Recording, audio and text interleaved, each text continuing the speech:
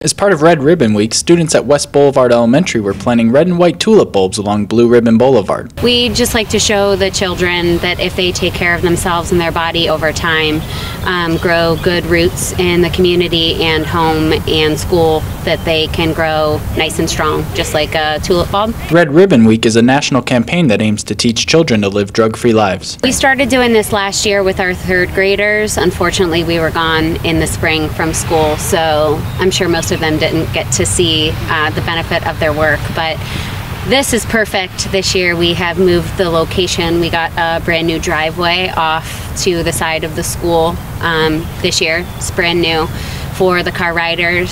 So we are planting the bulbs on both sides of the new drive entrance into the back of the school. While it teaches children the importance of growing strong roots, it also goes hand in hand with what they're learning in the classroom. They're young and they like to do anything hands on to try and get them to learn the best. Read below to learn more about the significance of Blue Ribbon Boulevard. In Boardman for WKBN 27 First News, I'm Brandon Jaycees.